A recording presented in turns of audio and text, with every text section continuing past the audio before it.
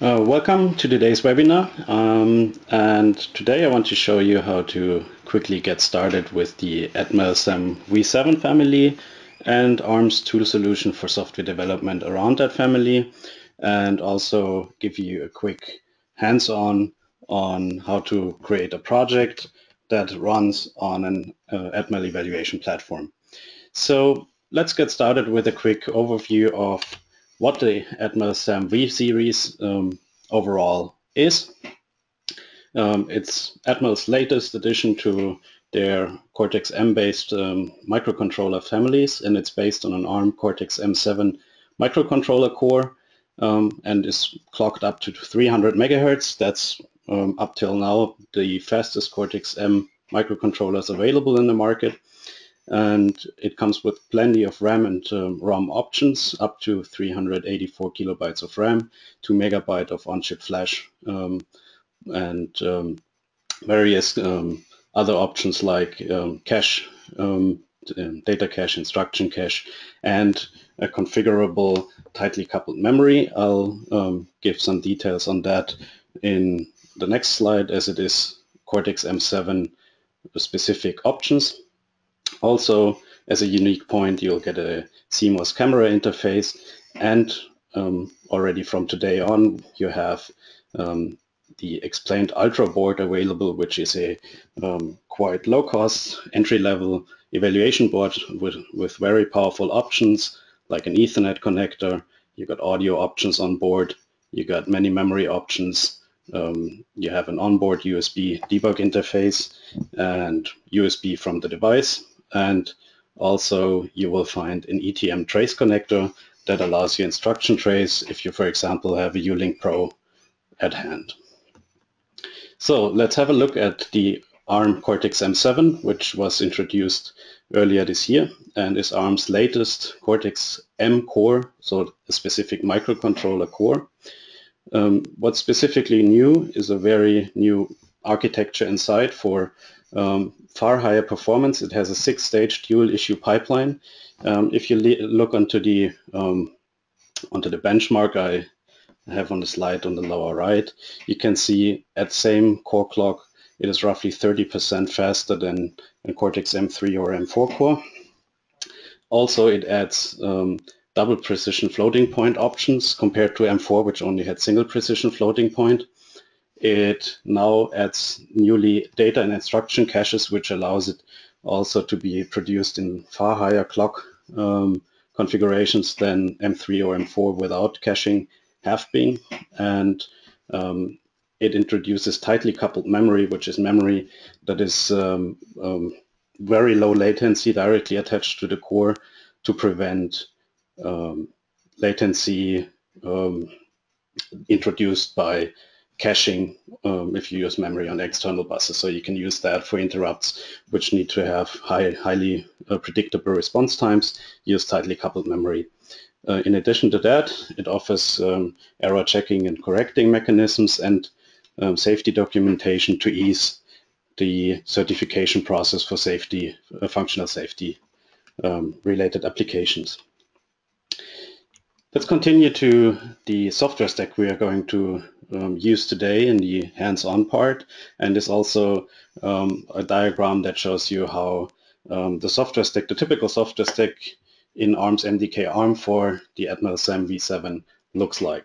So your application code will get access to standardized middleware. Um, today we'll be using MDK Professional middleware. Um, you will find generic component interfaces um, in the board support packages um, that allow you access to analog digital converters or simple access to LEDs, push buttons, and so on. Um, but you might also find device-specific middleware like motor control libraries and so on. That software is um, getting access to CMSIS driver layer, which is a standardized um, gateway to the communication peripherals on the microcontroller and standardizes around um, standardizes drivers around Ethernet, USB, um, memory card interfaces, and so on. Besides that, you'll also find the Atmel software framework hardware abstraction layer, which is a um, the device driver library supplied by Atmel. And both need to be pin and clock configured. Most of that is done in the so-called RTE device header file. You will also see that in Microvision in, in action in a minute. And it's a very simple way um, ARM provides in MDK ARM to configure the I.O. you're going to use for various peripherals. The example I'm uh, planning to build is running on the um, before mentioned board on the SAM V7 uh, T1 Xplained Ultra board, which um, we will be connecting to the debug USB part for flash programming and debugging. It uses the CMSIS-DAP standard to connect. And we will be using an Ethernet connection to network up our board and then be running a web server on the microcontroller, which runs from a SD memory card with a FAT file system. So this is another middleware component we are going to use is a file system um, that you know, gives the web server component using our IPv4 TCP IP stack to read files from there and serve up to a browser over the network. So let's go to the fun part and start with a small live demonstration. First of all, I'm going to start Microvision, the IDE of MDK ARM. That just takes a second until I share it with you and you should see it in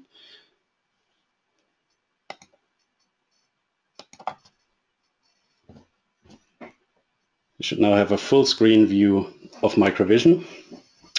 And before we start with that, um, I'll show you how the device support is coming into MDK ARM. And for that, I'm going to show you the pack installer, which I just launched from the toolbar. And the pack installer is a very convenient tool that installs additional software and device um, support into MDK ARM. And since I already have a board at my desk, it's best to go to the boards tab and search for the board or name of the board. I'm, I'm typing in V71. It's That's quite a unique part in the name of the board and I find it in here as the SAMV7 Xplained Pro. On the right hand side now I can see that if I get a filtered list of um, software components and device family packs that are compatible with my board or the device on the board. Um, so I installed the SAMV DFP package and that's the only thing you need to do. It'll bring everything um, that's of concern if you want to program that board. It brings the, the startup codes, it brings the um, HAL layers, um, the flash algorithm, and so on. So let's go back to Microvision. To start a new project, I'll open Project, New Microvision Project, and browse to a location where I want the project to be stored.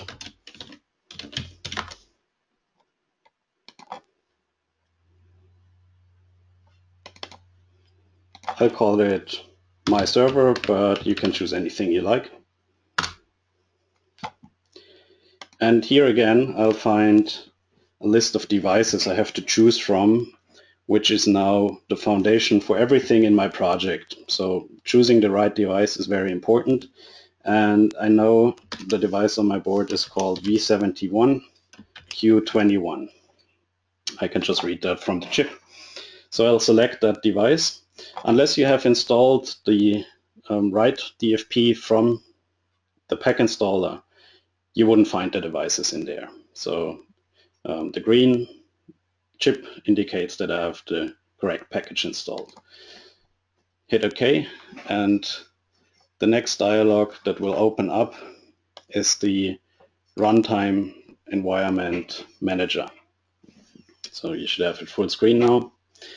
And from there, I will immediately start to select all the components related to the project I want to create. So from the MDK professional networking components, I'll start with the most important thing. I want a web server. And the runtime environment now um, gives me a validation overview about missing components from other packs or um, components it requires to have the web server operating. So what I always can try is to hit resolve. That resolves um, those components if possible. Um, and now I have to make a choice on which interface I want to run. And in this case, I want to have it on an Ethernet interface. And I'll select the MAC driver for the V71 because I want to run on the on-chip Ethernet MAC. And I also have to select the correct PHY driver. And as you can see, there's a lot of pre-made drivers available. And the AT61 RNB is the correct um, on board. I can also read that from the board. And uh, continue selecting a memory card interface as I want to have an SD memory card interface for my file system using the memory card interface. And from there, there's many, many other um, dependencies. I will just let them automatically resolve. And one thing that is to mention is for the file system, I can make the choice between using the short file name or the long file name support. In our case, it's very important that we um, use the long file name support as this makes it more handy. It wouldn't restrict the files on our web, web server file system to the DOS 8.3 uh, mode, but we can use uh, longer file names here. So that's it for the component selection. And as you can see, to your project, everything related to the components selected or the components we needed or requested has now been added to the project and is in a managed area on the left hand side beneath the user files. Now we need to add application code. There's also a very handy mechanism that eases that a little bit and um, that's the user code templates that come with various components. The moment you add them to your project, various templates get available. So for our main function, I'll simply select the CMSIS RTOS main function template and it'll be added to my source group one in that case. I'll also already add the HTTP server CGI module. Um, we are not going to make any modifications since we are not running a dynamic website, but it's mandatory um, as you will find in the documentation. Documentation is available for every component if you simply right click on it and go to open documentation and that will immediately open the correct documentation. I'll just give you a quick look on that. And as you see, the clicking on that open documentation open the related documentation and you'll find all necessary information on how to use a component, use a certain service um, properly explained in here. So let's go back to Microvision and continue doing some necessary configurations. So most components you will see have uh, files with a key symbol, which means we cannot um, make any changes to them. And some others do have um, are conf uh, configurable. Those are um, files we need to touch uh, for various reasons. And I'm going to start configuring the device hardware uh, or pin configuration using the RTE device header file. In that case, it's pretty simple.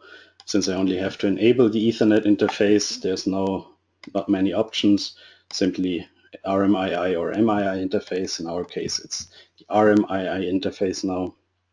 And the SDIO interface where we won't use card or write protect pin detections now. So we simply enable them and can save that file and close it. Going um, to the RTOS configuration, so um, the middleware components are requiring an RTOS kernel and have automatically integrated it now uh, from the runtime environment, runtime environment management dialog. Um, I have to do some modifications to the basic RTOS configuration. And here the only thing I'm going to do is to increase the main thread stack size where we will later on have our user code to operate the server and initialize the file system and so on. And also we need to make sure that we have the correct core clock frequency configured so the OS tick is configured to the right interval. Also, um, I'm going to give the system some additional stack and heap in the startup file. This is information I have already collected from the documentation. So the documentation tells me exactly which component has which memory requirements and I simply added that and now know how much system stack I'm going to need, how much um, thread stack and so on. This is basically all the system configurations I have to make and from convenience I'm going to open the network configuration and give the uh, my system a more unique um, um, device name which uh, makes it discoverable on the network later on. So I'm calling it SAMV70X like Xplained. And from there on now um, we have done all the configuration of components of predefined middleware and so on. And we need to do some some coding. There's still still mandatory, but it's as you will see quite simple. So it's always a good idea to include the device header file. And you can just include header files from components by right-clicking somewhere in the editor where you want to have the include file placed and then select the related header file. And on the right-hand side, you will also see which component provides that header file. So I'm going to add the network header file, and I'm going to add the header file for the file system API. In my main function, um, I'll now have to do some system-related settings. First of all, and this is um, something you just have to know, is the watchdog timer will always be enabled on that device. And since we are not servicing it in our application we really need to disable it. Otherwise it would just sporadically reset the the program and we don't want that. So I'm just disabling it now directly. Later in your application you would program it likely and and service it but that's a different thing. So we also do a system core clock update call, which updates the internal um, clock setting from CMSIS core. So other related components know the real core clock setting and can adjust accordingly. And there's two new CMSIS core functions for the M7 um, which are related to the cache enablement. So you need to enable cache, initialize the cache banks and so on. Those two calls will enable the data and instruction cache. We do this as it increases performance, so that's what we want. Now I can initialize the network stack. That's done by a simple call, net initialize, and also the file system with f finit, and then I'll specify a drive letter. Those are pre-assigned to certain media. So M0 is the first memory card, and um, finit initializes the MCI interface and so on. And for all removable media, we also need to do a mount call. So I'll do f mount 0. Doing these two, my memory card will now be available um, to the program, to the file system API or to the file API of C. So you could now do an fopen and so on. We are not directly programming the file system now. This will be handled by the web server, but uh, in theory also your application could now access the file system if, you, if required. So all we need to add now is after the system was started by the OS kernel start call, I'll do I'll have a thread loop Main is also always a thread, um, a thread as, uh, as a small reminder in our um, CMSIS RTOS by default main will continue to run as a thread so you can immediately use any thread control functions like OS delay. So we are suspending that while loop for five milliseconds, um, giving the execution time to another task if some uh, there's waiting tasks and every now and then we are servicing our network stack by calling the net main function. So from doing all that I should now be able to compile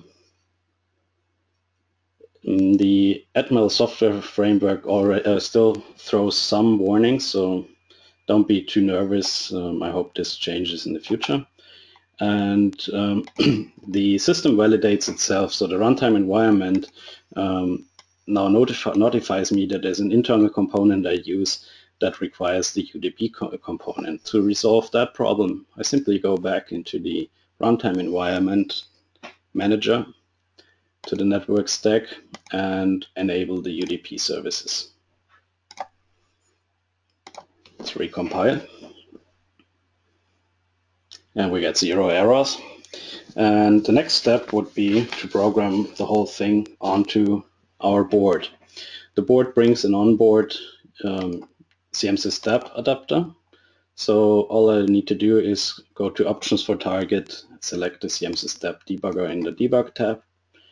I can open settings and as you will see, it already detected the attached board. It shows me the core ID of the Cortex M7 core on the device. And from the device selection and also the correct on-chip flash algorithm has been selected. So actually all I need to do now is hit the load button and wait the board to flash the, the pro uh, program.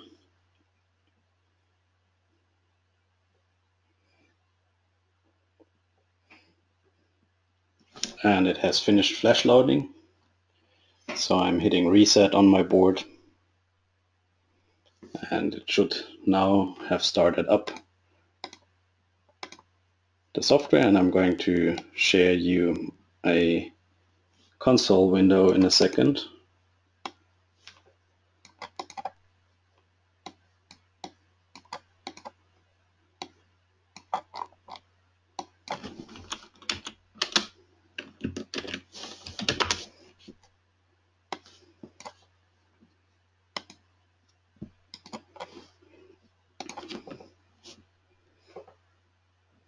and I'm going to ping the SAM v70 minus x as I called it.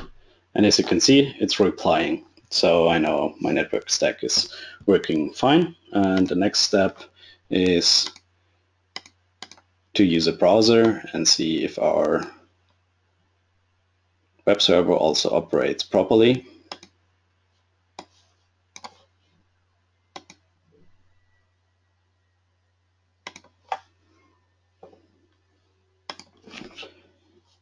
So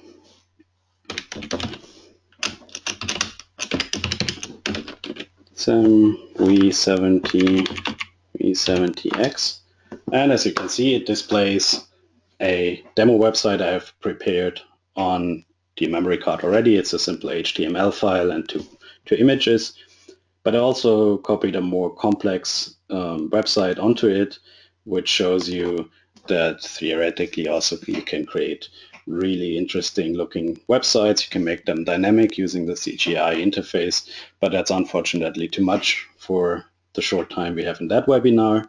And it's simply to give you an idea on the possibilities. So we are getting to the end. Thank you for attending. Everything that you have seen is available now, so you can simply use your MDK, um, download the related device family pack and get started actually. Thank you very much.